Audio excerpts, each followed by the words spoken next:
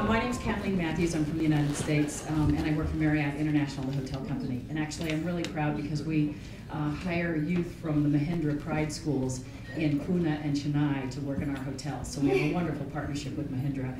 So this is one of those great moments to be in Davos in a room like this, in the moment, and hearing you talk. My daughter got me to read The Alchemist when she was in high school, and I think I've given that book away to more people than any other book in my lifetime. So it's really a pleasure to, to meet you in person.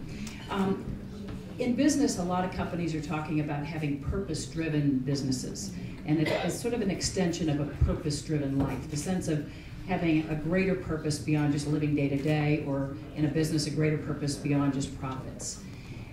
Is purpose important in your life? Do you sort of continuously sort of try to define your purpose, or do you believe it's more like the journey that you describe in The Alchemist? Uh, let me think. Uh, purpose is very important. Huh? I cannot live my life without, without a purpose. I need to have it. Having said that, there is no straight line to my purpose. I have to change according to the circumstances. I know that I should go there to that door, but then I meet you and I meet you and I stop there and I give an interview. Till the day that I arrive at that door.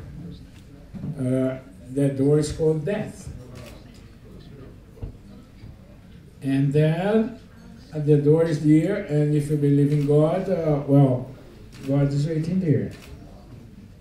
Or an angel, whatever you call it.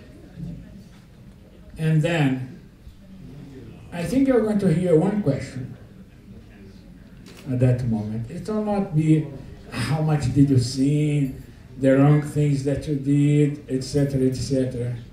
When you get there, uh, they are going to ask you, either God or an angel, whatever, did you love enough?